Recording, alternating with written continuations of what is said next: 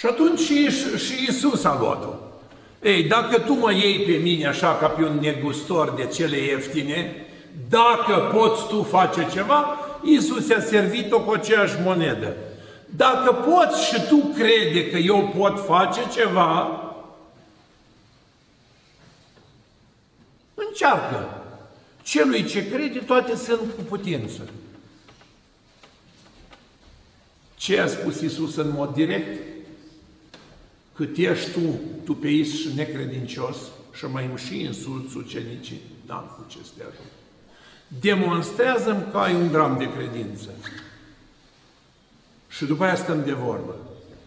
Omul s-a simțit luat peste picior că nu era așa de prost. Sunt sigur că și pe mulți care îi iau eu peste picior, ei se simt când greșesc, dar să facă nu pricep. Dar eu le spun ca să știe că am fost atent.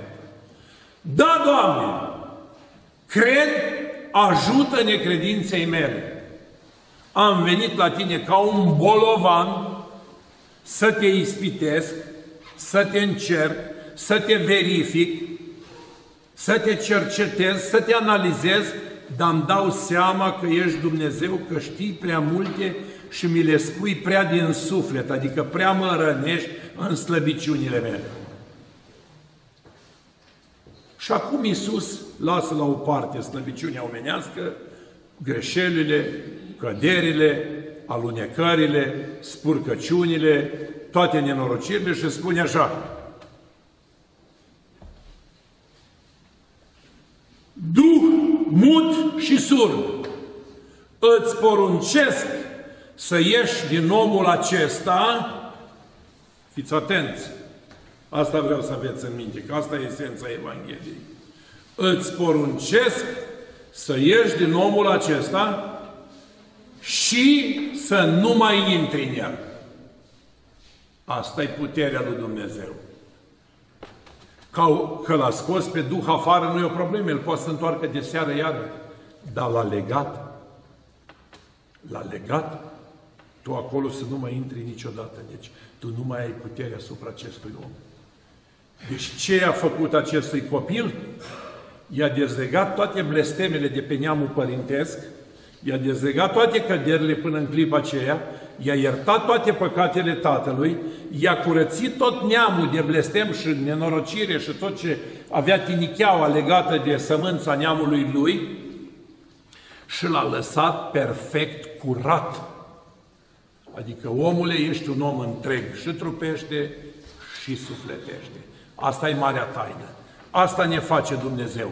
Cu puterea ce mi este dată, te iert și te dezleg, eu nevrednic, preu și duhovnic, de toate păcatele tale care le-ai greșit cu voie sau fără de voie, cu lucru sau cu cuvântul, cu știință și cu neștiință, în numele Tatălui și a Fiului și a Sfântului Duh.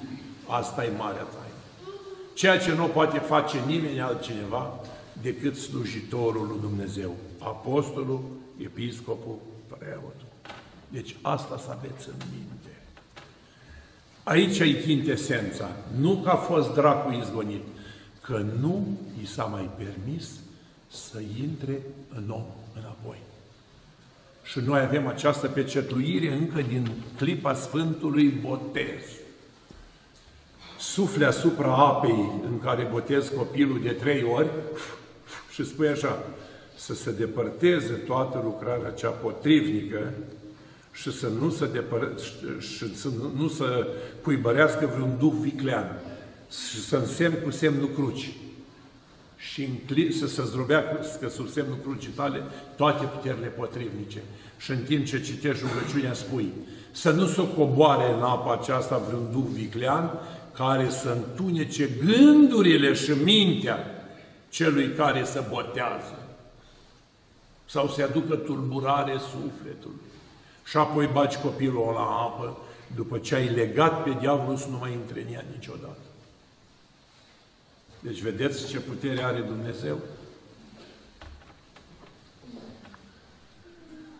Ia ascultați și partea nevăzută a lucrurilor.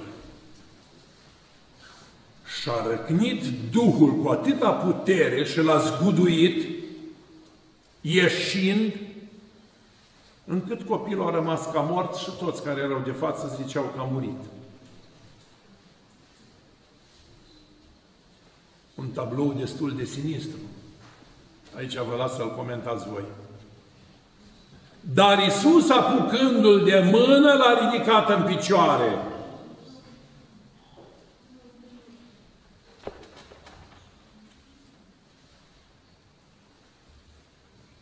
Cum spune Isus Hristos, dacă ați fi din lume, lumea va iubi. Dar pentru că nu sunteți din lume, de aceea vă urăște pe voi lumea. Ce înseamnă să rămâi mort?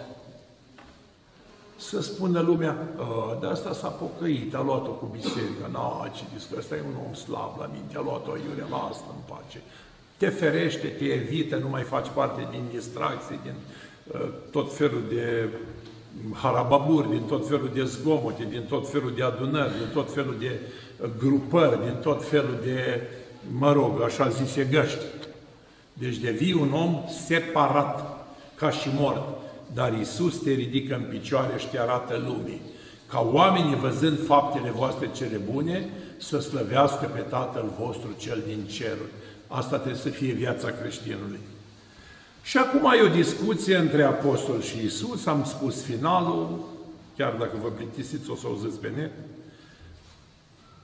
Doamne, oare noi de ce nu l-am putut izgoni? Și Isus nu le-a spus că sunt neputincioși, că n-au încă experiența asupra Duhurilor.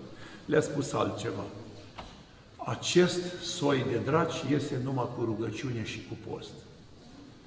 Încă suntem în post. Vă rog până la înviere să-i scoateți pe toți afară, să luați Sfânta Împărtășanie, să aplicați taina spovedanii, taina rugăciunii, taina postului, ca de înviere să strălucim toți cu făclii aprinse înaintea lui Hristos.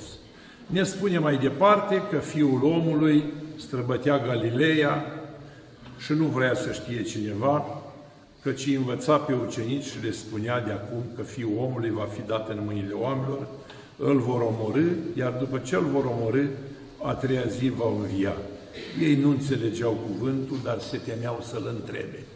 N-au auzit niciodată de un om care să moară și apoi să învie, dar vor vedea cele trei mari învieri, a fiicei lui Iair, a fiului văduvei din Ain și a lui Lazar, ca să le spună Dumnezeu, eu sunt Domnul vieții și al morții, cel ce crede în mine, viu va fi.